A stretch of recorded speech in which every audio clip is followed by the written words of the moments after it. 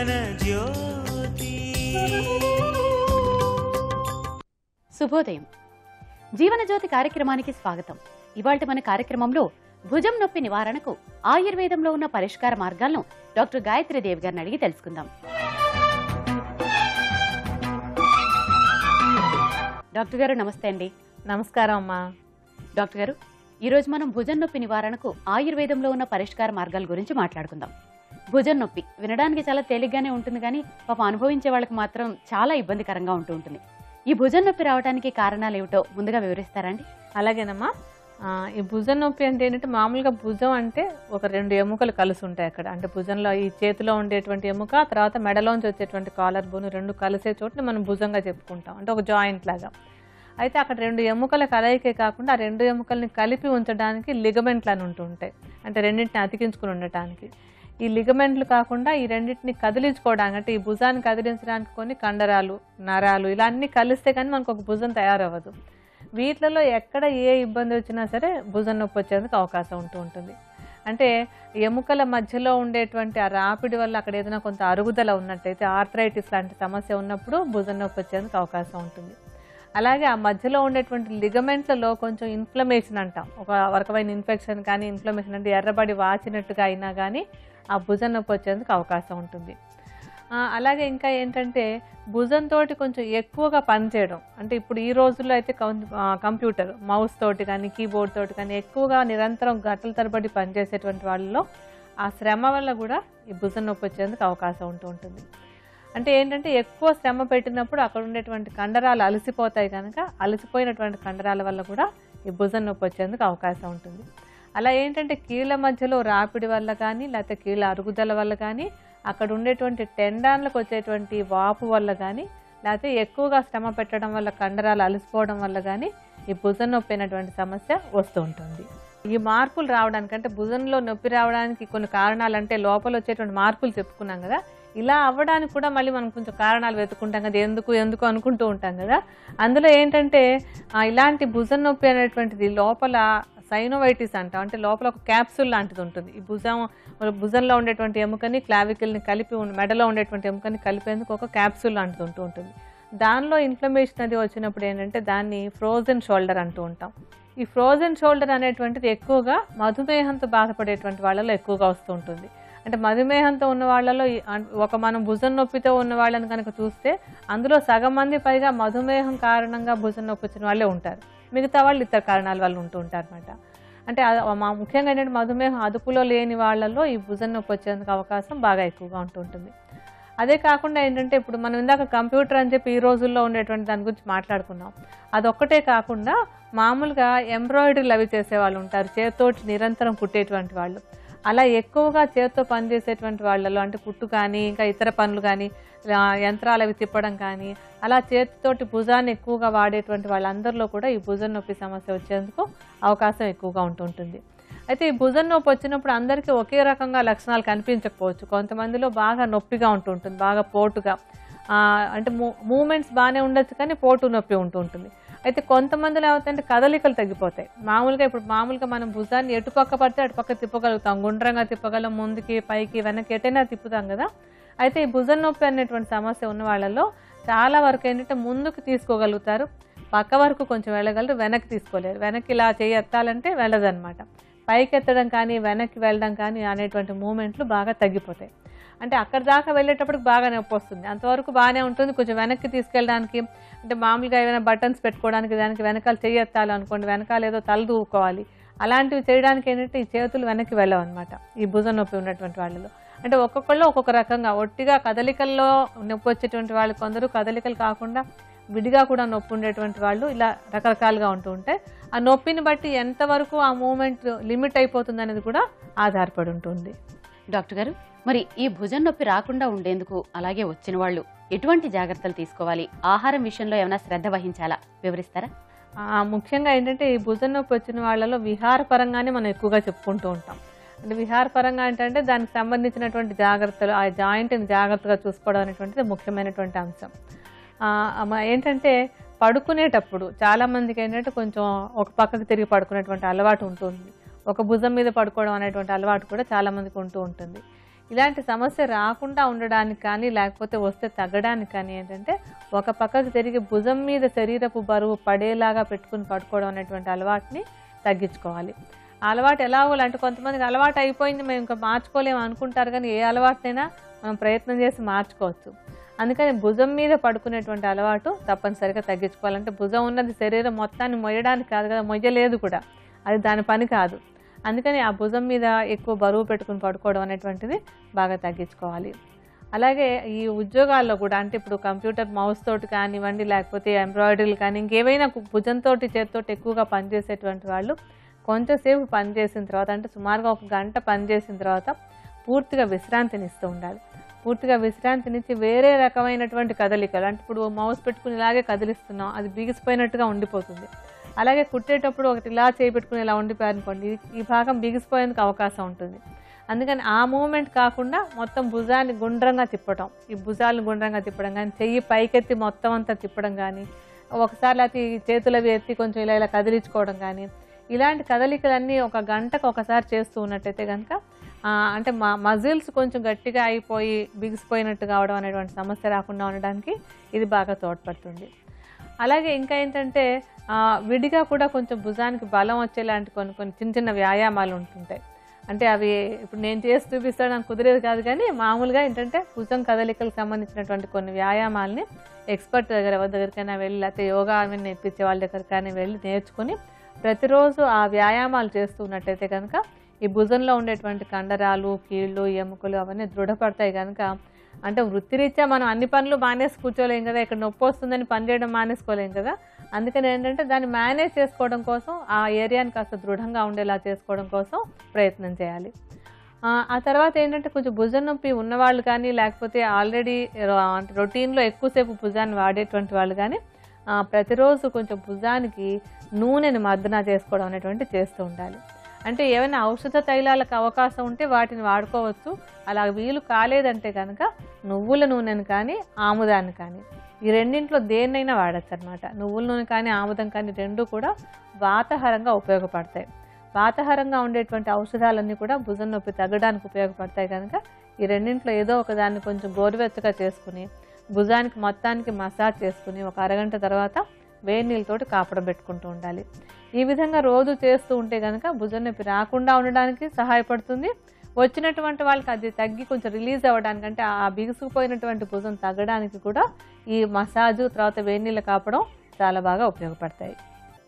Doctor గారు భుజం నొప్పి నివారణకు ఉపకరించే ఆయుర్వేద ఔషధం ఏ విధంగా తయారు చేసుకోవాలో వీటికి కావలసిన మూలికలు ఏమిటో వివరిస్తారా అండి? ఈ భుజం నొప్పి తగ్గడానికి మనం ఒక చూర్ణాన్ని తయారు చేసుకుందాం. ఈ ఔషధం తయారీలో మనం మొట్టమొదటి తీసుకునేది ఏంటంటే దూలగొండి గింజలు.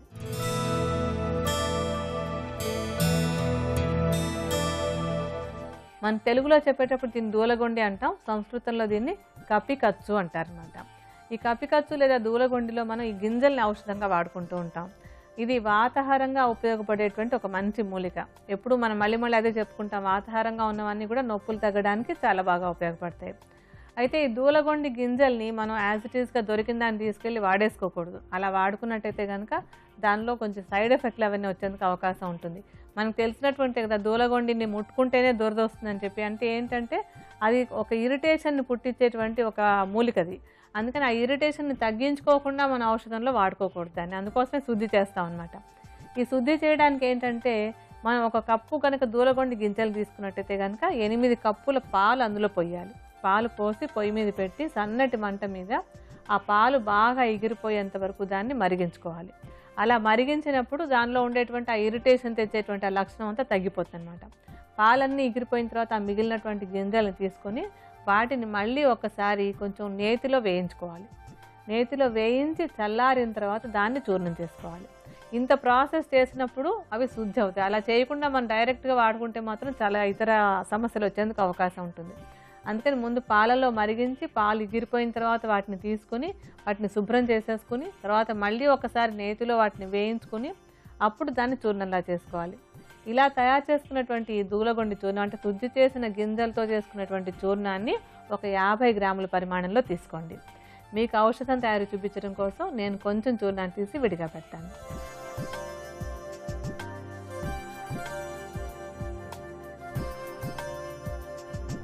మనకి ఈ ఔషధంలో కావాల్సినటువంటి మరొక మూలిక ఏంటంటే అశ్వగంధ.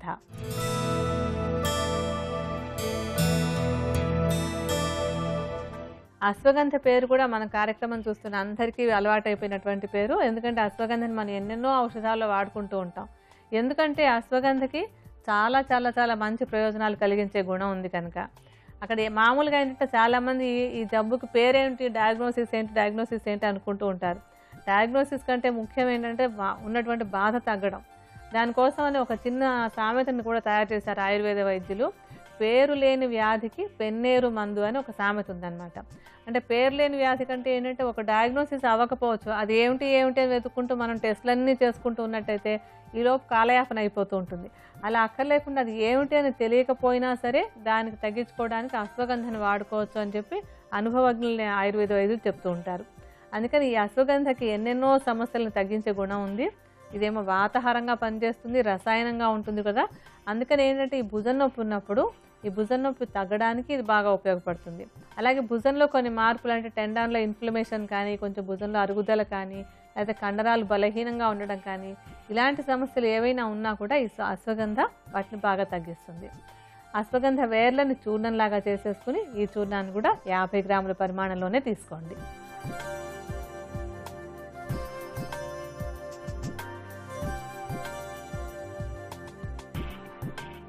ఈ ఔషధం తయారీలో మనకు కావాల్సినటువంటి మొత్తం మూడు మూలికలు మనం ఆల్రెడీ రెండు మూలికలు తీసుకున్నాం కదా మనం తీసుకోవాల్సినటువంటి ఆఖరి మూలిక ఏంటంటే బల.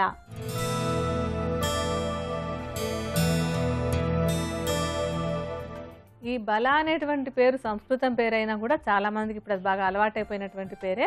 అయితే కొంచెం ఊళ్ళల్లో అక్కడ ఏంటంటే చిట్టాముట్టి అనేటువంటి పేరు కూడా అందరికి అలవాటుగా ఉంటుంది. ఈ తెలుగులో దీన్ని అంటే బలాన్ని తెలుగులో చెప్పేటప్పుడు చిట్టాముట్టి అంటారు. ఈ పేరుతో అలవాటు ఉన్న వాళ్ళు కూడా దీన్ని అలా గుర్తించుకోవచ్చు. ఈ బల మూల అని అంటే బల యొక్క వేర్లని మనం ఔషధంగా వాడుకుంటాం. ఈ వేర్లు కూడా వాతాహారంగా చాలా బాగా ఉపయోగపడతాయి. అంటే వాతహరంగా ఉండేటువంటి మూలికల సముదాయంలో మనం చెప్పేటప్పుడు మొట్టమొదటి బలాన్ని కూడా చెప్పుకోవచ్చు. అలాగే ఏంటంటే ఇది కూడా ఒక రసాయనం.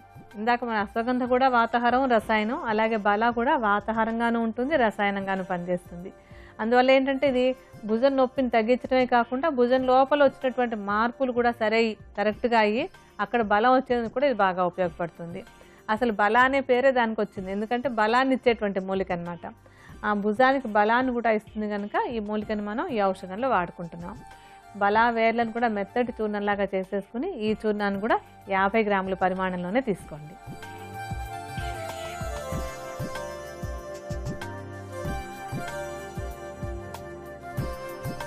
మనకు కావాల్సినటువంటి మూడు చూర్ణాలు రెడీగా ఉన్నాయి కదా వీటిని ఇప్పుడు బాగా కలుపుకుందాం.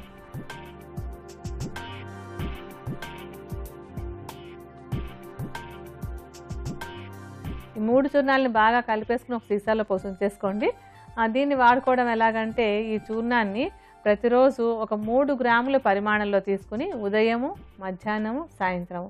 మూడు పూట్ల కూడా కొద్దిగా నేతిని కానీ లేకపోతే కొంచెం గోరువెచ్చటి నీటిని కానీ కలుపుకొని మూడు పూట్ల తీసుకున్నట్టయితే కనుక భుజం నొప్పి సమస్య తేలిగ్గా పరిష్కారం అవుతుంది. భుజం నొప్పి నివారణకు ఉపకరించే ఆయుర్వేద ఔషధం తయారీ విధానం మరొక్కసారి చూద్దాం. దూలగొండి గింజల చూర్ణం యాభై గ్రాములు అశ్వగంధ చూర్ణం యాభై గ్రాములు బలావేర్ల చూర్ణం యాభై గ్రాముల చొప్పున తీసుకుని ఈ చూర్ణాలన్నిటినీ బాగా కలుపుకొని భద్రపరచుకోవాలి. ఉపయోగించుకోవడానికి మూడు గ్రాముల చూర్ణానికి తగినంత నెయ్యి లేదా గోరువెచ్చని నీటిని కలిపి మూడు పూటలు తీసుకోవాలి. భుజం నొప్పి నివారణకు ఉపకరించే ఆయుర్వేద ఔషధం తయారీ విధానం దానిని ఉపయోగించే విధానం కూడా తెలుసుకున్నాం కదా? మరిప్పుడు దగ్గు జలుబు సమస్య నివారణకు చక్కటి గృహౌషధం అడిగి తెలుసుకుందాం.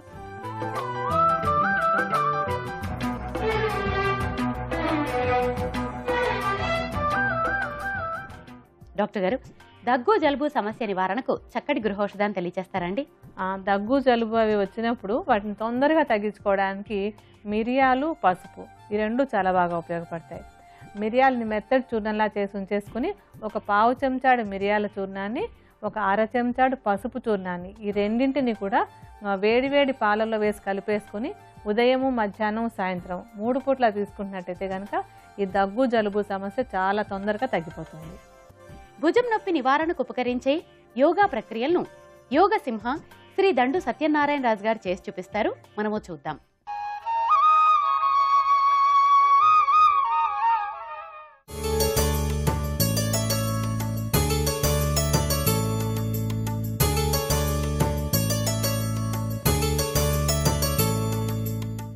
వామప్ క్రియలు ద్విహస్త పాద ఉత్తానాసనం సాధన చేయడం ద్వారా భుజం నొప్పి సమస్యను నివారించుకోవచ్చు. వామప్ క్రియలు. ఈ క్రియలు సాధన చేయడానికి ముందుగా పద్మాసనం లేదా సుఖాసనంలో సౌకర్యవంతంగా కూర్చోవాలి. తరువాత చేతులు రెండింటిని పైకి మడుస్తూ రెండు చేతుల వేళ్ళను ఇరు ప్రక్కల భుజాలపై ఉంచి వెనుక నుండి ముందుకు మోచేతుల్ని తిప్పుతూ ఉండాలి. ఇలా కొంత సమయం తిప్పి ఇప్పుడు ముందు నుండి వెనక్కి మోచేతుల్ని తిప్పాలి.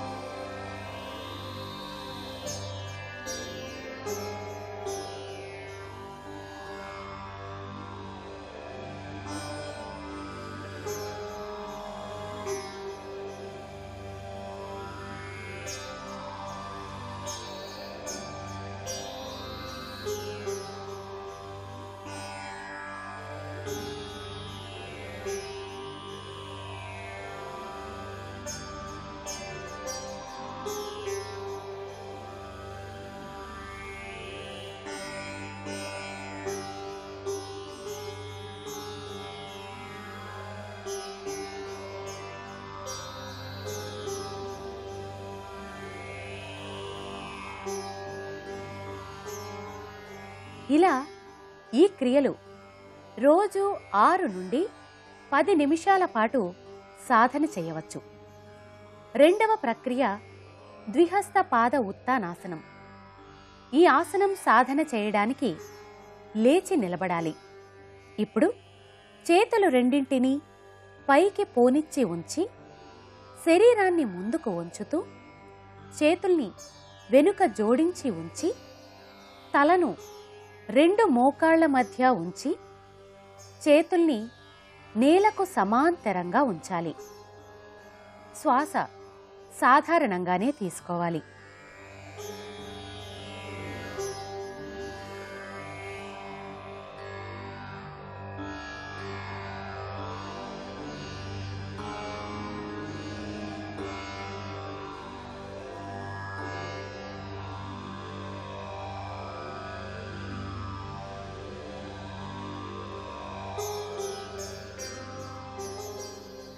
ఇలా ఈ ఆసనం రోజు ఆరు నుండి పదిసార్లు సాధన చేయవచ్చు.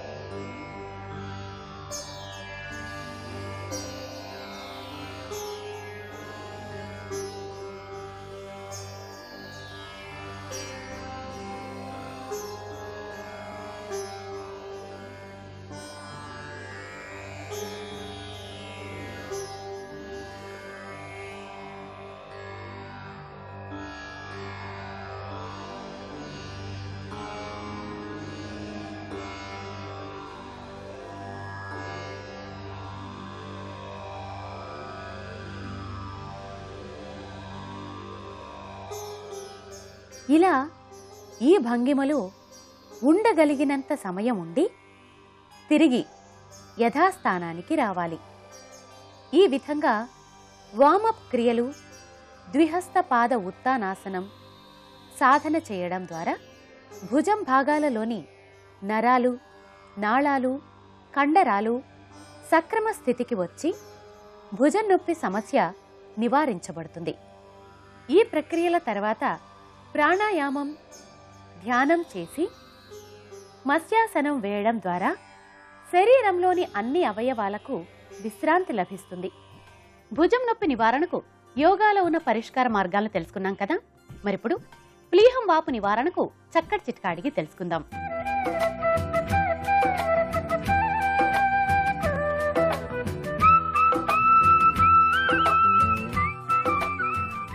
డాక్టర్ గారు ప్లీహం వాపు నివారణకు చక్కటి చిట్కాని తెలియజేస్తారా అండి? ప్లీహం వాపు అంటే దాన్ని స్ప్లీన్ ఎన్లార్జ్మెంట్ అంటాం. మనకి అంటే కుడి పక్కన లివరు ఎడం పక్కన స్ప్లీన్ ఉంటూ ఉంటుంది. ఎడం పక్కన ఉండేటువంటి ఈ స్ప్లీన్ ఏంటంటే మనకి రక్త కణాలు అవి తయారయ్యేలాగా చేసేటువంటి ఒక మంచి అవయవం. దీనికి వాపు ఎందుకు వస్తుందంటే కొంచెం జ్వరాలు కానీ అంటే మలేరియా లాంటి జ్వరం టైఫాయిడ్ లాంటి జ్వరం ఇలాంటి జ్వరాల్లో శరీరం కొంచెం ఎక్కువగా పనిచేయాల్సి వస్తుంది. రక్త కణాలను బాగా ఉత్పత్తి చేయాల్సి వస్తూ ఉంటుంది. అలాంటప్పుడు ఈ స్ప్లీన్ లేదా ప్లీహం కొంచెం ఎన్లార్జ్మెంట్ వస్తుంది వాస్తుంది అనమాట ఇతర కారణాల వల్ల కూడా వాచచ్చు. సామాన్యంగా ఇటువంటి కారణాల్లో వాస్తూ ఉంటుంది. ఇలా వాచినప్పుడు ఆ వాపు తగ్గడానికి మనకేంటంటే కలబంద తర్వాత పసుపు ఈ రెండు బాగా ఉపయోగపడతాయి.